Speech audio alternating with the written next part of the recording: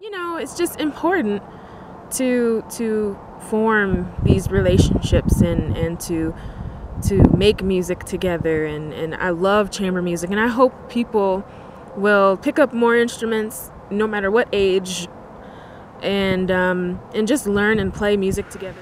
My name's Gar Williams. I started playing cello at the age of 46 and I've now been at it for several decades. I won't say exactly how long.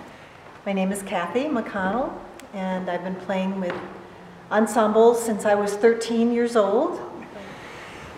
Most of the fun I get, and it is just absolutely loads of fun, is in small ensemble groups like piano trios or string quartets. Part of the fun is the people that you get to meet. They are just the salt of the earth.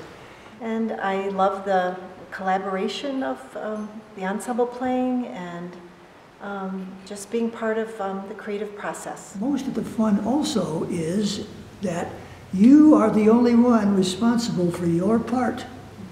You are not able to slough off and hide behind the six or eight other people like you do in the orchestra. You have to play your part. And that is a lot of responsibility, but it is sure loads of fun.